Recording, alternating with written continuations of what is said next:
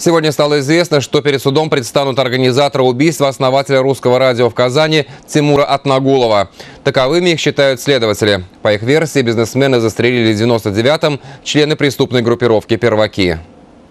Одним из эпизодов преступной деятельности участников банды бригады Феди является убийство генерального директора ООО агентства радиокоммуникации РСА Атнагулова Тимура, который известен также в качестве одного из основателей русского радио в Казани. Причиной убийства стал отказ Атнагулова платить за криминальное прикрытие участнику данной банды.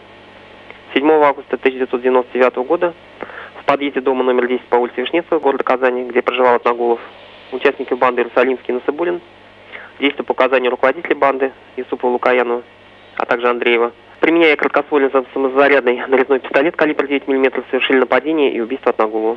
В качестве обвиняемых по делу привлечено 4 человека, трое из них в настоящее время находятся под стражей. Еще два участника банды находятся в международном розыске.